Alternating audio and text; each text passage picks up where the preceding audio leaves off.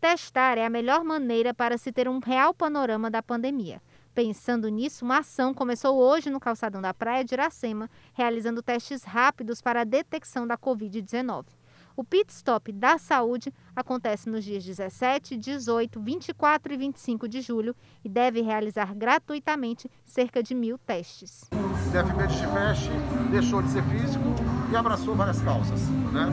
É, fizemos 200 mil máscaras de design como essa, né, que vai ser distribuída é, junto à Enel, que é a nossa patrocinadora. É, fizemos uma doação para o governo do estado e fizemos uma doação para o Instituto Iracema.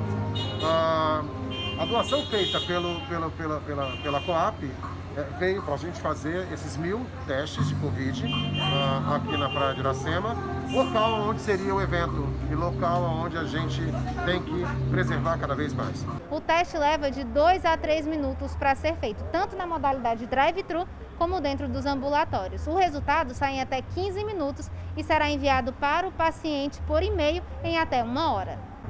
O atendimento ele é super rápido. Se você vier com carro, você passa por a nossa triagem, eles conferem sua documentação direitinho, fazem o seu cadastro e vem uma equipe especializada nos testes para recolher o seu sangue.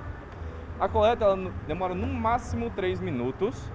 O, o teste ele saiu o resultado em 15 minutos, mas para não haver uma aglomeração torno de pessoas, a gente pede que você tire a sua residência e o laudo é entregue em até uma hora diretamente no seu e-mail. O mesmo é válido também para o atendimento do pedestre, sem nenhuma diferença. Para ter acesso à testagem, é necessário fazer o agendamento prévio por meio do site. Por lá é possível agendar dia e hora, além da modalidade escolhida, se drive-thru ou ambulatório.